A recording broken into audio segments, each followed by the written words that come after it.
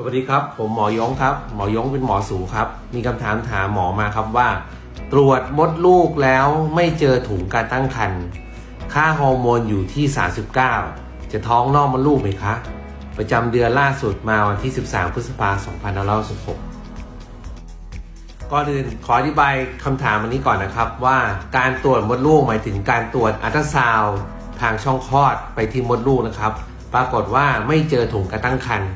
ในค่าที่ฮอร์โมนต่ำนะครับ คือ 39นี่ถือว่าต่ำนะครับ จะท้องนอกมดลูกไหม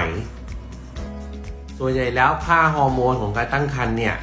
ถ้าตรวจแล้วมากกว่า 5 ขึ้นไปนะครับ ถือว่าเริ่มมีการตั้งครรภ์แล้ว แล้วก็จะมีการเพิ่มขึ้นของปริมาณฮอร์โมน การตั้งครรภ์หรือฮอร์โมน beta HCG เนี่ยเพิ่มขึ้นเป็นเท่าตัวเท่าตัวในทุกๆ 2-3 วันนะครับ หรือถ้าดูเป็นตัวเลขเป๊ะๆก็คือว่ามีค่า มากกว่า 66%ขึ้นไปทุก 2 วันนะครับ ถึงจะเรียกว่าเป็นการตั้งครรภ์ที่ปกติ อย่างในเคสนี้นะครับ จะต้องเจาะเลือดตรวจฮอร์โมนอีก 2 วันข้างหน้าครับ ว่ามีค่าฮอร์โมนเพิ่มขึ้นเนี่ยมากกว่า 66%หรือเปล่านะครับ ถ้ามีการเพิ่มขึ้นมากเป็นเท่าตัว 2-3 วันข้างหน้าเนี่ยก็แสดงว่าเป็นการตั้งครรภ์ที่ปกติ แต่ถ้ามีการเพิ่มน้อยกว่านั้นนะครับ ก็ถือว่าเป็นการตั้งครรภ์ที่ไม่ปกติ ซึ่งอาจจะเป็นท้องนอกมดลูกก็ได้ หรืออาจจะเป็นการตั้งครรภ์ที่จะเริ่มแท้งก็ได้นะครับ อีกประเด็นหนึ่งคือ ถ้ามีประวัติของการหลุดของชิ้นเนื้อออกจากมดลูกออกมา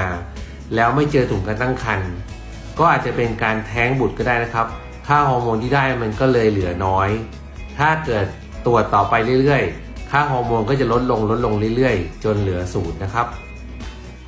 แต่ถ้าเกิดสงสัยว่าจะตั้งครรภ์นอกมดลูก ก็แสดงว่ายังไม่มีการแท้งเกิดขึ้น การตั้งครรภ์นอกมดลูกคือการตั้งครรภ์ที่ปีกมดลูกข้างในข้างหนึ่ง แล้วตัวเด็กอะมันไม่สามารถอยู่ที่ปีกมดลูกได้ครับ เพราะฉะนั้นค่าฮอร์โมนมันก็จะไม่ได้เพิ่มขึ้นเป็นปกติ มันจะเพิ่มขึ้นน้อยในสัดส่วนที่น้อยกว่า 66%อย่างที่หมอบอกไว้นะครับ สรุปก็คือในเคสนี้นะครับ ถ้าตรวจอัลตราซาวแล้วยังไม่เจอถุงการตั้งครรภ์แล้วค่าฮอร์โมนต่ำนะครับ อีก 2 วันข้างหน้าให้มาตรวจเจาะเลือดหาค่าฮอร์โมนการตั้งครรภ์อีกครั้งหนึ่งนะครับ ดูว่ามันมีการเพิ่มขึ้นมากเป็นเท่าตัวหรือเปล่านะครับ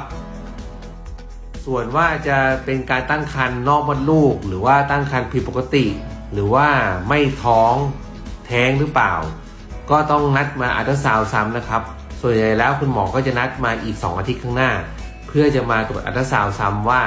เจอถุงการตั้งครรภ์ไหม เห็นตัวเด็กไหม เห็นหัวใจเต้นไหมนะครับ ถ้าใครมีคำถามอยากปรึกษาหมอยงก็กดลิงก์ที่หน้าโปรไฟล์หมอยงที่ต่อได้เลยนะครับ ทิ้งคำถามไว้แล้วเดี๋ยวหมอยงจะมาตอบให้แบบนี้ทุกคำถามเลยครับ